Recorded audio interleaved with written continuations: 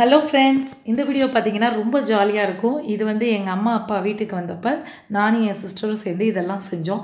So இதில் பார்த்தீங்கன்னா உங்களுக்கு எப்படி டைம் மேனேஜ்மெண்ட் ரொம்ப ஃபாஸ்ட்டாக எப்படி நீங்கள் வேலையை அதாவது நான் நைன் தேர்ட்டிக்கு ஸ்டார்ட் பண்ணி டுவெல் ஓ கிளாக்லாம் முடிச்சிட்டேன். அதை பற்றி தான் சொல்ல போகிறேன் ஃபஸ்ட்டு நான் செஞ்சது வந்து மட்டன் கிரேவி அடுத்து உருளைக்கிழங்கு ஃப்ரை செஞ்சோம். ஸோ என்னென்னு நான் ஒன்றுனா உங்களுக்கு சொல்லிடுறேன். அதுக்கப்புறம் எப்படி டைம் மேனேஜ் பண்ணி ஃபாஸ்ட்டாக முடிச்சேன்னு சொல்லிடுறேன். நெக்ஸ்ட்டு பார்த்தீங்கன்னா நம்மளோட வெண்டைக்காய் பொரியல் அதுக்கப்புறம் வாழைப்பூ வாங்கி அதுவும் கூட்டு செஞ்சோம். அப்பாவுக்கு பார்த்திங்கன்னா நிறைய காய்கறி தான் ரொம்ப பிடிக்கும். ஸோ அதனால் அதிகமாக நான்வெஜ் எதுவும் செய்யாமல் மேக்ஸிமம் எல்லாமே காய்கறியிலே கவர் பண்ணேன். இந்த சாம்பாரில் பார்த்திங்கன்னா கத்திரிக்காய் முருங்கைக்காய் அவரைக்காய் மாங்காய் ஒரு சுரக்காய் எல்லாமே இந்த காயில் சாம்பாரில் நிறைய காய் போட்டு செஞ்சோம்.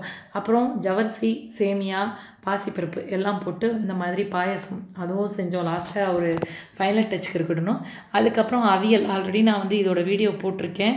அதுக்கப்புறம் முருங்கைக்கீரை ஒரு நாலஞ்சு காய் செலக்ட் பண்ணி நம்ம அவியல் செஞ்சோம்.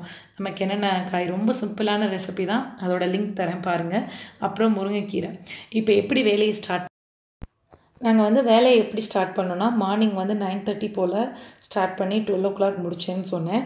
நைட்டு வந்து சின்ன வெங்காயம் பெரிய வெங்காயம் தக்காளி இந்த மாதிரி எல்லா ஐட்டமும் ஒரே இடத்துல எடுத்து வச்சுக்கிட்டேன். அதுக்கப்புறம் சின்ன வெங்காயம்லாம் நல்லா உரிச்சு வச்சாச்சு. தேங்காய் இஞ்சி பூண்டு மல்லி கருவேப்பிலை இது எல்லா இலையும் தேவையான அளவு எது போட போகிறோமோ அது எல்லாத்தையுமே ரெடியாக எடுத்து ஃப்ரிட்ஜில் வச்சாச்சு.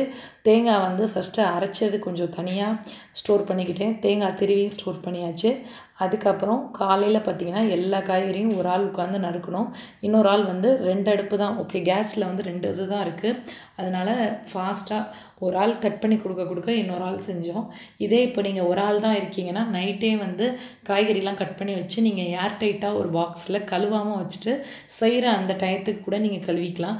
கீரை கூட முத நாள் நைட்டே ஆஞ்சி வச்சுட்டு அடுத்த நாள் ஃப்ரெஷ்ஷாக நீங்கள் கழுவிட்டு யூஸ் பண்ணலாம். இந்த மாதிரி சின்ன சின்ன டிப்ஸ்லாம் இருக்குது இந்த வீடியோ உங்களுக்கு பிடிச்சிருந்தா லைக் பண்ணுங்கள் மறக்காமல் உங்கள் ஃப்ரெண்ட்ஸ் அண்ட் ரிலேட்டிவ்ஸ் கூட ஷேர் பண்ணிக்கோங்க. Thank you